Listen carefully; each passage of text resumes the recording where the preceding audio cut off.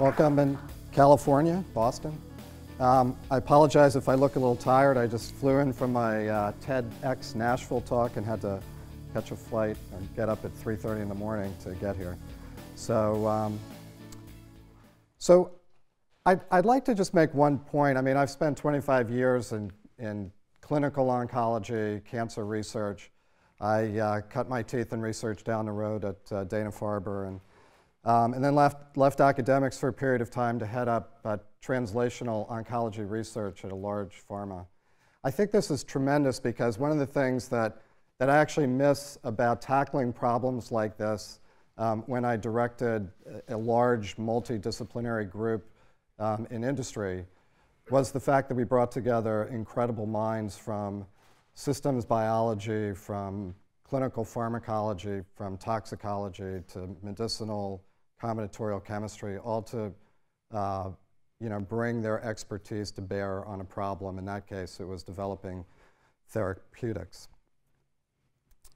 So, you know, I've seen enough in cancer that um, the, the next best thing since sliced bread, it comes, it goes. It was interleukins, it was gamma interferon. Now the big thing are checkpoint inhibitors and immunotherapy, which are transforming the way we treat cancer, but you know, they're limited, unfortunately, in their efficacy. So nothing is ever black and white. It's, it's never that straightforward, sadly.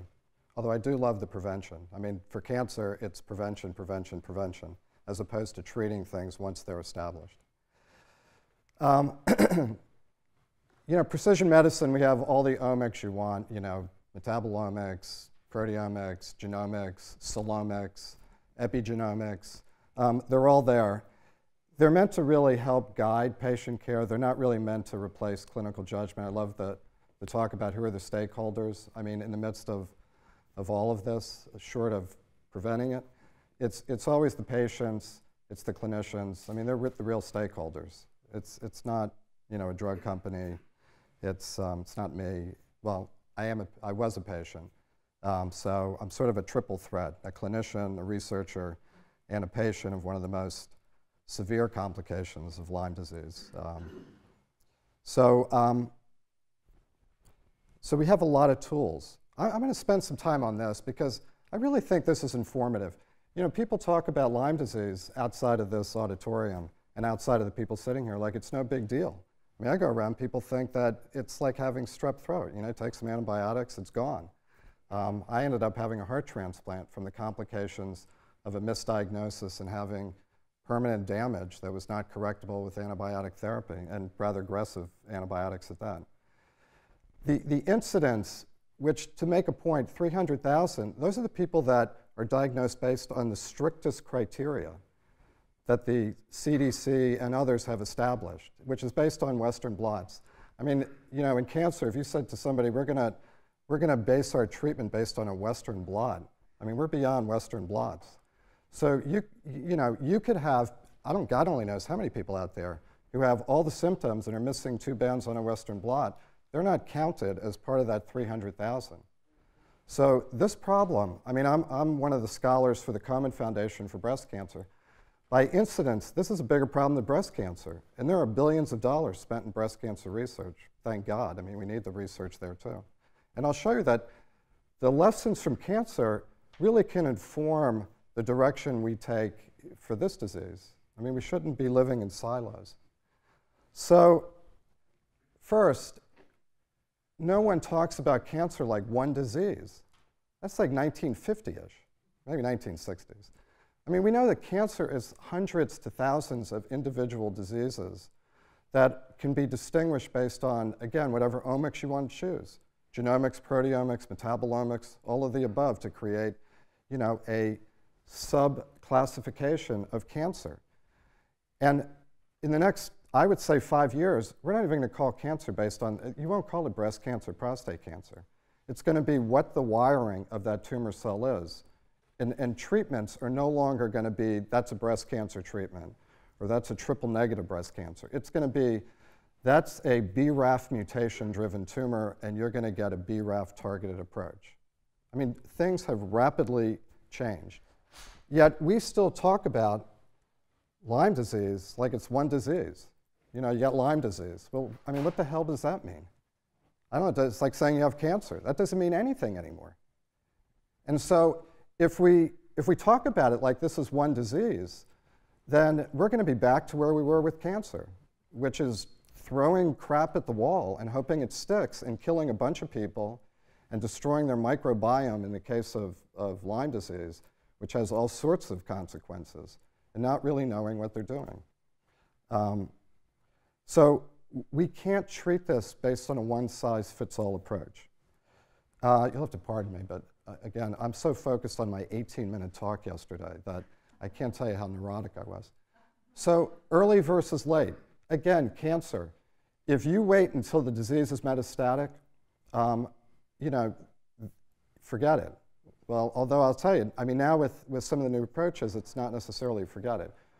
Early diagnosis, prevention is the best approach to cancer. It's the best approach to Lyme disease. But even with early, again, I'll refer back to, to breast cancer, and this gets back to those 20 to 30% of people who, who get treated early and don't get better. You could make a diagnosis of breast cancer at the earliest stages, you know, a centimeter tumor, no big deal, right? The doctor says, bad news, you got breast cancer, good news is we caught it early. 20 to 30% of those women will recur metastatically. Now, it used to be a crapshoot. Now we've got genomic precision medicine tests that can predict at the earliest stages which women and men are more likely to recur, which one of those are the 20% who doing a mastectomy or a lumpectomy and radiation is not enough. So I would say, who are the 20% that don't do well? How do we predict that? Why, why do we give, I mean, I love the triple antibiotics and all, but there are clearly people who do well with doxycycline. What distinguishes them from the other? Do they not have the roots? Um, I think there's a lot of questions because we could get into a one size fits all for everyone. And again, like cancer, do a lot of damage um, um, without really understanding what we're doing. Therapeutic resistance. I've spent a great deal of my professional career studying therapeutic resistance to targeted therapies. Targeted therapies, you know, all of these Herceptin, all of the drugs develop against mutations. They're all great until they stop working. And all these drugs at some point stop working. So when I became a patient and I started reading the literature, um, I was shocked that persisters were like a big deal. It's like, of course there must be persisters. I mean, these bacteria, I'm making the analogy that this is sort of the infectious disease equivalent of cancer. Not that Lyme disease causes cancer, at least not that we know of, but that the biology is so similar, it's eerie, and that we should take the lessons that have already been developed in another field, that have moved that, that have propelled that field well beyond where this field is. And admittedly, there's a hell of a lot more money in cancer research than Lyme disease. Um, but we need to take those lessons. We don't need to recreate the wheel all over again. They're, they're all out there. We just need to break down the silos, which is why I'm here to break it down. Um, we know that, that cancer cells change shape, just like bacteria. EMT, epithelial to mesenchymal transition. When cancer cells going, go from being nice epithelial cells in your breast or your prostate or your liver to now disseminating in your bloodstream and invading other organs, which is what kills people, they change shape. They become resistant to the chemotherapy that can cure your breast cancer in your breast doesn't work in your liver. It doesn't work when it's spreading around. And we've studied now the genomics, the proteomics, the metabolomics of what EMT is like to develop a whole new therapeutic approach to targeting that dissemination. I think it's probably going to be, at least in the, the veterinary world, it's the same sort of thing. I mean, you know, it also gets to the other point here, which is metastatic disease. When I was a fellow, whether you got a brain metastases or a lung was like bad luck. Sorry, you know, it's like flipping a coin. We know that there is method to the madness. Why a tumor cell goes to the brain and not to the lung, there's a biologic rationale for that. It's built into that tumor cell, and it's also built into the microenvironment. You know, cancer, and I think Lyme disease, so I'm talking about cancer, but the analogies are the same. You know, we used to think it was bad seed, uh, bad seed, normal soil. Right? It's like a bad tumor cell in the breast, bad tumor cell in your liver. Now we know it's a bad tumor cell in bad soil. There's fertile soil for that tumor to grow. If there wasn't, that bad seed would die off. Um, I think there's some interesting data, again, from the, from the veterinary world, because we can't do a lot of these studies in people, just like we can't do a lot of the studies that have elucidated biology of cancer in people either. Um, that show that there's also probably method to the madness of why I had bad cardiac disease and somebody else had bad arthritis or has CNS disease. That may not just be a random event. It may be dependent upon the strain of the bacteria. It may be dependent upon the microenvironment and the interaction of the myocardiac tissue and a certain you know, expression of proteins on certain bacteria. I mean, all of these things, um, again, probably don't happen by random accident. And so if we understood that, we could start to target the, the Borrelia in a different way. I mean, I would, I would make the point, and I love Dr. Zhang's work, that you know, just like chemotherapy, we could have screened and developed more chemo and tougher chemo and you know, the atomic bomb of chemo, which we did. We did stem cell transplants. We practically killed, and we did kill a lot of people, by wiping out their entire body and their immune systems with enough chemo. That was like the answer. And it didn't work didn't work because these cancers and these bacteria are too darn smart. They figure it out. And we need to be smarter at targeting the Achilles heel. And it may not be another antibiotic. It may be understanding when they change that shape, what sorts of proteins change? What are the real drivers of changing that shape? And can we nail it, just like we've done with cancer? So, yeah, I've done that. Okay. I'm just, I'm going to fly through. So this is actually, this is what cancer patients get now. So you get a biopsy. Now we do liquid biopsy. So here's another dilemma here. Well, you know, the Borrelia hangs out in the tissue. We can't detect it in the blood. People said that 20 years ago about cancer cells. We can't always get a biopsy of a liver met or a brain met. You know, now there's circulating tumor cells. Technologies to detect rare events have been developed. So you can detect a single tumor cell circulating around the blood. And we've gone from single tumor cells to cell-free DNA. So now you can pick up all sorts of mutations in the blood that are a reservoir of the total mutational load in that patient. So if the liver met has a different genomic profile than the brain met, it all ends up in the blood. So you don't have to do 400 biopsies, which is impractical. You can detect it in the blood. And now we're gone from looking at tissue to looking at single cells to looking at cell-free DNA to guide patient care. It's the ultimate of precision medicine.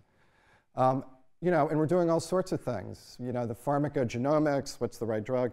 So cancer care, at least in academic institutions, has become incredibly precision-driven and precise.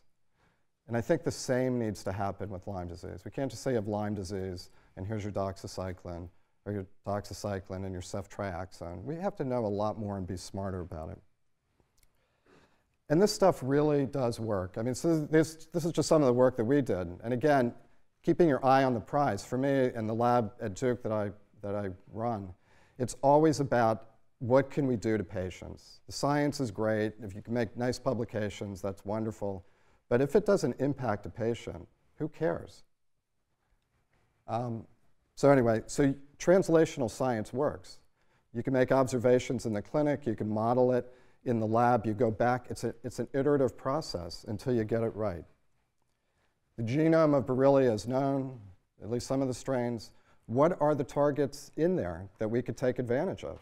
Just like, you know, for cancer. Again, it's not just the bacteria, perhaps, it's the microenvironment that's supporting the bacteria. Um, I think this point has already been made. So my top priorities, um, you know what, they're my priorities. I'm here to hear what you think. Um, so that's why I'm here. That's why I sort of woke up at, you know, 3 in the morning, crawled out of bed um, to come here, in addition to being with Nev, who's great. So, um, so I think we need a lot of things. We need better diagnostics. We need to know, we need to develop precision care for patients. We need to have prevention strategies which make sense. Um, And I'll just end on that. That was, uh, that was me in the ICU. I went from, this is a, a fun weekend for me because I ran Boston marathons while I lived in Boston. And I went from running marathons to ending up 72 hours from death without a heart transplant. I mean, I did everything right.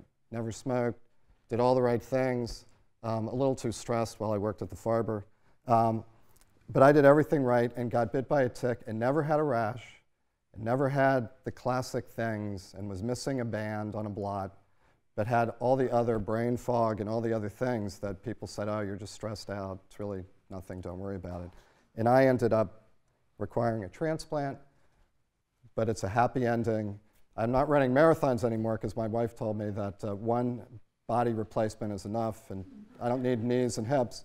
But I do run half marathons, and that was uh, last April at the Raleigh Rock and Roll Half Marathon. So, anyway, I'm here. I'm looking forward to working with you, answering questions, and hearing what the output is. So, thank you.